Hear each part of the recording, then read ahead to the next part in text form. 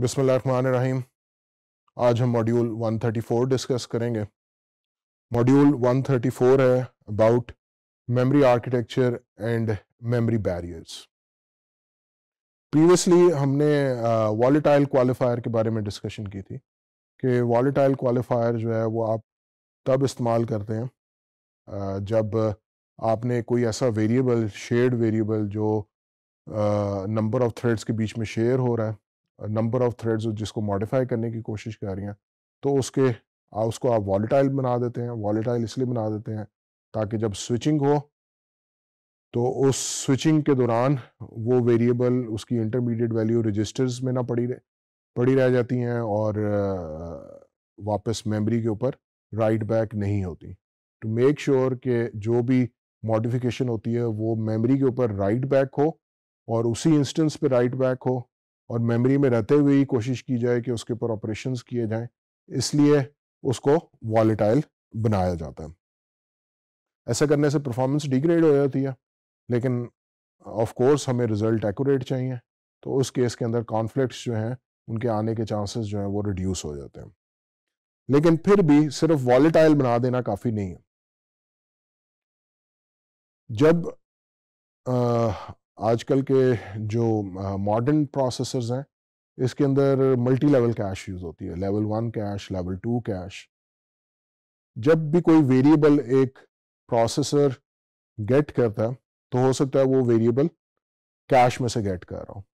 और जब उसको मॉडिफाई उसने किया तो हो सकता है सिर्फ़ वो वेरिएबल कैश के अंदर मॉडिफाई हुआ हो। मेमोरी में कब जाके उसने राइट होना है, वो जो कैश को हैंडल करने के लिए जो पॉलिसीज़ हैं, उनसे पता चलता है। वो डिसाइड करती हैं कि कब कैश के अंदर पड़ा हुआ वेरिएबल जो है वापस मेमोरी में जाएगा। जब तक वो मेमोरी में नहीं जाएगा, वो किसी दूसरे प्रोसेसर को एक्सेसिबल नहीं होगा, क्योंकि कैश जो होता है, वो अभी हम जिस तरह इसे एक एग्ज़ाम्पल की मदद से, एक डायाग्राम की मदद से अंडरस्टैंड करने की कोशिश करेंगे। कैश हो सकता है कि हर प्रोसेसर के लिए अपनी प्राइवेट हो। हर प्रोसेसर की अपनी कैश होगी। जब एक कैश के अंदर मॉडिफिकेशन हुई है तो उसका मतलब यह नहीं कि बाकी कैशेस के अंदर भी मॉडिफिकेशन हो। तो ये वाली प्रॉब्लम जो है, ये कैश कोहरेंसी की प्रॉब्लम कहलाती है।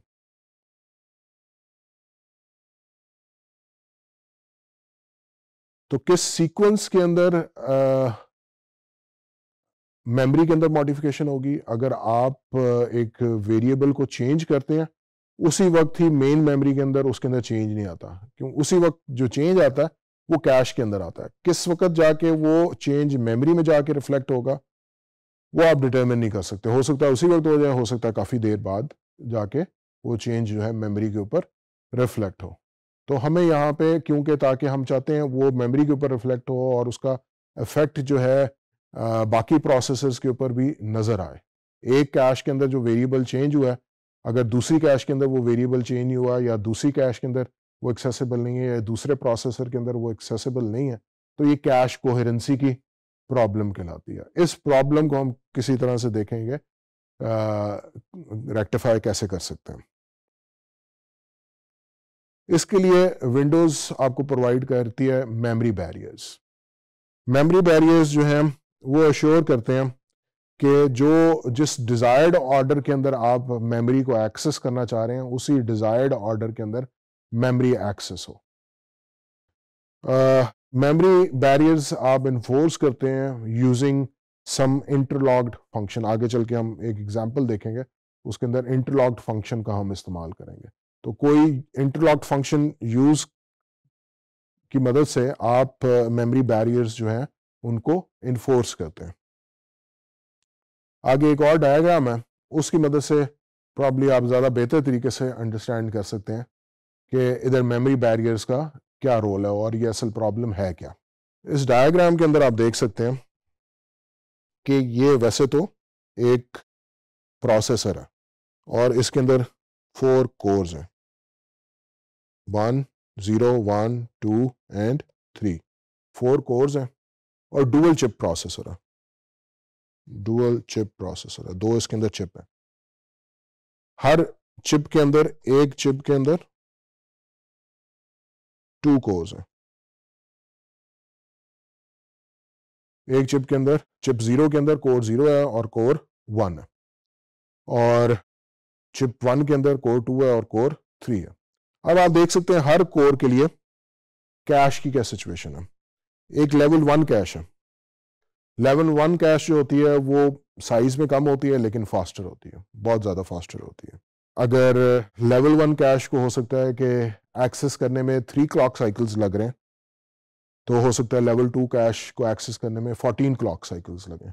और मेमोरी को एक्सेस करने में हंड्रेड्स ऑफ़ क्लॉक साइकिल्स लगे। हंड्रेड प्लस क्लॉक साइकिल्स लगे।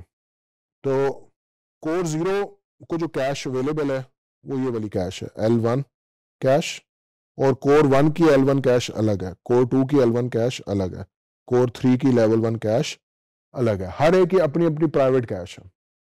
कोई एक कैश का क्योंकि मैकेनिज्म ही इस तरह का है कि अगर कैश छोटी होगी तो वो फास्टर होगी। जितनी बड़ी करते जाएँगे, उतनी स्लोअर करते जाएँगे। तो एक बहुत बड़ी कैश रखना जिसको कि सारे प्रोसेसर्स एक्सेस कर सकें फीजेबल नहीं है।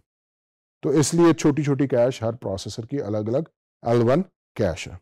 और एल टू कैश का थोड़ा साइज़ बड़ा है तो ये एल टू कैश ऑप्टिमाइज करने के लिए एल टू कैश जो है, इसको एक्सेस करने में थोड़ा ज़्यादा टाइम लग रहा है, लेकिन इसका साइज़ बड़ा है तो ये कोर ज़ीरो और कोर वन दोनों एल टू कैश को एक्सेस कर सकती हैं। ये एल टू कैश जो है कोर ज़ीरो और वन के लिए अपनी प्राइवेट है। और टू और थ्री के लिए जो अलग से एल टू कैश है। अगर एल टू कैश के अंदर एक वेरिएबल पड़ा हुआ है कोर ज़ीरो और वन की तो वो कोर टू और थ्री को एक्सेस नहीं होगा। या कोर टू और थ्री की एल टू कैश के अंदर एक वेरिएबल पड़ा हुआ है तो वो कोर ज़ीरो और वन की एल टू कैश के अंदर एक्सेसिबल नहीं होगा। इसी तरह से किसी भी कोर की एल वन कैश के अंदर अगर कोई वेरिएबल पड़ा हुआ है तो वो किसी और कोर को एक्सेसिबल नहीं होगा। से कोर ज़ीरो जो है कोर ज़ीरो की इस एल वन कैश के अंदर कोई एक वेरिएबल पड़ा हुआ है, जो भी इधर वेरिएबल पड़ा हुआ है, वो कोर वन को एक्सेस नहीं हो सकता क्योंकि वो यहाँ पे है और इसकी कैश अलग है, इसकी कोर टू की कैश अलग है और कोर थ्री की कैश अलग है।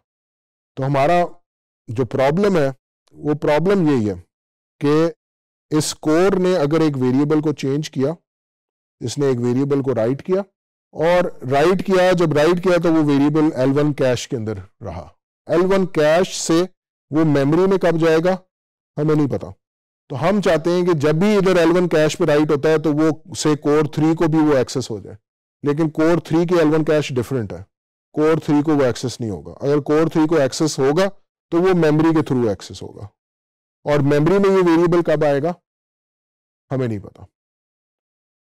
तो मेमोरी बैरियर्स ये इंश्योर करते हैं कि जब भी आप किसी एक वेरिएबल के ऊपर कोई वैल्यू राइट करते हैं तो वो साथ ही साथ मेमोरी के अंदर अपडेट हो जाए। उसी इंस्टेंस पे मेमोरी के अंदर अपडेट हो जाए। नॉर्मल जो ऑप्टिमाइज्ड वर्किंग है, उस वर्किंग के अंदर कब जाके वो मेमोरी के अंदर अपडेट होगा, कभी हो सकता है जल्दी हो जाए, कभी हो सकता है काफ़ी देर बाद हो वी डोंट नो वो जो जो प्रोसेस की एग्जीक्यूशन जो है, वो प्रोग्रेस करती है ड्यूरिंग द एग्जीक्यूशन हमें पता चलता है कि कब जाके उसने अपडेट होना है। लेकिन मेमोरी बैरियर्स ये इंश्योर करते हैं, अगर आप किसी एक वेरिएबल के साथ मेमोरी बैरियर्स एसोसिएट कर दें तो वो ये अश्योर करेंगे कि जो ही आप वेरिएबल के ऊपर कोई चेंज करते हैं, साथ ही साथ वो मेमोरी के अंदर जो है, वो भी अपडेट हो जाए। जो ही मेमोरी के अंदर अपडेट होता है तो अब मेमोरी के थ्रू कोर थ्री भी जो है, वो उसको एक्सेस कर सकती है। तो यहाँ पे यही पॉइंट एम्फेसिस करने की ज़रूरत है कि जो वॉलेटाइल है वॉलेटाइल सिर्फ़ ये श्योर करता है कि जो आपने नई वैल्यूज़ असाइन की हैं अपने किसी डेटा को, वो वैल्यूज़ जो हैं एल वन कैश के अंदर अपडेट हो गई हैं। वो ये श्योर नहीं करता कि वो वैल्यूज़ प्रोपोगेट हुई हैं अप टू मेमोरी और मेमोरी के थ्रू वो अब बाकी कोर्स को भी एक्सेसिबल होंगी। हमने वो वैल्यू बाकी कोर्स को भी एक्सेसिबल बनानी है, ताकि दूसरी थ्रेड जो है, वो भी एक्सेस कर सकें।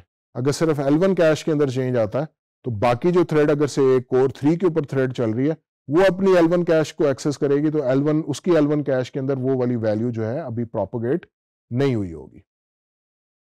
यही हमारी कैश कोहरेंसी की प्रॉब्लम है, और इसी प्रॉब्लम का सोल्यूशन जो है, वो हमें मेमोरी बैरियर्स के थ्रू मिलता है। तो मेमोरी बैरियर्स ये इंश्योर करते हैं कि जब भी आप राइट करते हैं किसी एक वेरिएबल के ऊपर तो ना सिर्फ़ वो एल वन कैश के ऊपर राइट हो, बल्कि वो पूरी तरह से प्रोपोगेट हो अप टू द मेमोरी और मेमोरी के थ्रू वो दूसरी कोर्स को भी एक्सेसिबल हो जाए या फिर कोई और मैकेनिज्म जिसके थ्रू दूसरी कोर जो है उस वेरिएबल या तो वो कैश में से रिमूव हो जाए और सिर्फ़ मेमोरी के अंदर ही आ जाए और मेमोरी से फिर सारी को कैशेज जो हैं उसको एक्सेस कर सकें। अपडेट हो जाए सारी कैशेज के अंदर या इनवैलिडेट हो जाए सारी कैशेज के अंदर। कोई भी मैकेनिज्म जिसके थ्रू वो अक्रॉस द बोर्ड वेरिएबल जो भी उसकी अपडेटेड वैल्यू है, सारे के सारे प्रोसेसर्स को एक्सेसिबल रहे। तो इसी के अंदर फॉर एग्जांपल जैसे हमारे पास अगर एक वेरिएबल है एन और वो एन वेरिएबल जो है हमारी एक थ्रेड रन हो रही है, वो थ्रेड जो है कोर ज़ीरो पे रन हो रही है। कोर ज़ीरो जो है, उस एन वेरिएबल को इंक्रीमेंट करती है। जब इंक्रीमेंट करती है तो वो जो चेंज है, वो कहाँ पे आएगी? एल वन कैश पे आएगी। आपका वॉलेटाइल का जो क्वालिफायर है, वो इंश्योर करे कि वो इंस्टेंटेनियसली जो भी चेंज किया है, वो एल वन कैश के ऊपर आ जाए। अब जो एल वन कैश के ऊपर चेंज आई है वो चेंज कोर थ्री को एक्सेसिबल नहीं है। कोर थ्री के ऊपर दूसरी थ्रेड रन कर रही है, जिसने उसी एन वेरिएबल को यूज़ करना है। अगला जो उसका इंक्रीमेंट है कोर थ्री पे रन होने वाली थ्रेड ने उसके अंदर इंक्रीमेंट परफॉर्म करना लेकिन कोर थ्री के एल वन कैश के अंदर वो वेरिएबल अभी तक अपडेट नहीं हुआ। हो सकता है पढ़ा हो लेकिन फिर अगर पढ़ा भी हुआ है तो उसकी पुरानी वैल्यू होगी। हो सकता है पढ़ा ही ना हो। तो अब वो वेरिएबल कहाँ से आएगा? तो हमारा ये जो मेमोरी बैरियर है ये इंश्योर करेगा कि जब एन को कोर ज़ीरो ने अपडेट किया तो वो वैल्यू जाके मेमोरी के अंदर भी प्रोपोगेट हो और जब मेमोरी के अंदर प्रोपोगेट हो तो कोर थ्री भी उसको मेमोरी से अपडेटेड वैल्यू को एक्सेस करे। कोर थ्री की मेमोरी में से भी या तो वो इनवैलिडेट हो जाए या मेमोरी में से फिर से वो एक्सेस हो। अच्छा अब आप इसके अंदर देख सकते हैं कि जो मेमोरी बैरियर्स हैं, उनकी कॉस्ट इज़ वेरी हाई अगर L1 में से एक वेरिएबल ने एक्सेस होना था थ्री क्लॉक साइकिल्स कंज्यूम होने थे। अगर L2 में से एक वेरिएबल ने एक्सेस होना था तो 14 क्लॉक साइकिल्स होने थे। और अगर मेमोरी में से कोई एक वेरिएबल एक्सेस होता है तो 100 प्लस क्लॉक साइकिल्स लगते हैं। मेमोरी बैरियर इन्फोर्स करता है कि जब भी एक वेरिएबल के अंदर कोई चेंज हुई है तो वो सीधा मेमोरी के अंदर जाए। जब मेमोरी के अंदर राइट होगा तो आपके 100 प्लस क्लॉक साइकिल्स कंज्यूम होंगे। और जब दूसरी कोर भी उसको मेमोरी में से एक्सेस करेगी तो again 100 plus clock cycles consume होंगे। तो इस तरह से ये एक एक्सपेंसिव टास्क है। अगर आपने मेमोरी बैरियर्स का इस्तेमाल करना है तो बहुत केयरफुली करना है, इस तरीके से करना है कि सिर्फ़ वही वेरिएबल्स मेमोरी बैरियर के थ्रू अपडेट हों, जो कि शेयर्ड है। हर वेरिएबल को आपने मेमोरी बैरियर के थ्रू अपडेट नहीं करना, क्योंकि ये ऑफ़ कोर्स आपकी जो परफॉर्मेंस है ओवरऑल अगर हर वेरिएबल मेमोरी बैरियर के थ्रू एक्सेस होगा तो पूरे प्रोग्राम की परफॉर्मेंस जो है वो बुरी तरह से डिग्रेड हो जाएगी।